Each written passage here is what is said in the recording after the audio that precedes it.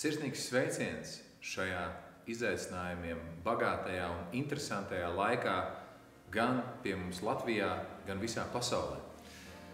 Man ir īpaši radoši jaunumi, ar kuriem es vēlējos padalīties.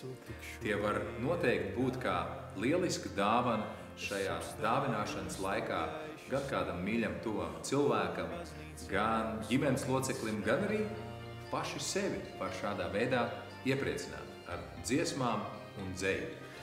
Un viens no jaunumiem ir uh, ziemas noskaņu un Ziemassvētku dziesmu albums Sirds kā bākuguns, kurā kopumā ir desmit kompozīcijas par ziemas sajūtām, Ziemassvētkiem, par kopā būšanu, mīļumu, mīlestību.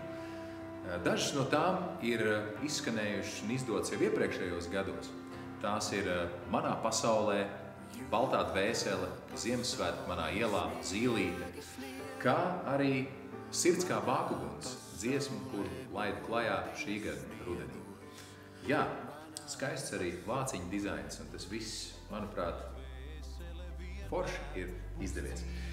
Kā arī ir grāmata, mana otrā dzējas grāmata, Garam, gara gaita, kurā ir dzējoļi, skaistas ilustrācijas, dzējoļi par cilvēku attiecībām, par mīlestību, par dabu, par planētu, uz kuras mēs dzīvojam, par to visu gaišo, jauko un skaisto, kuru mūsu gari šajā planētā piedzīvo.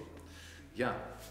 Un vēl arī trešais jaunums, kurš jau iznāca kādu mazu laiciņu atpakaļ, bet joprojām tas ir svaigums un jaunums. Šūpuļdziesmu albums bērniem un ģimenēm guliet mazie.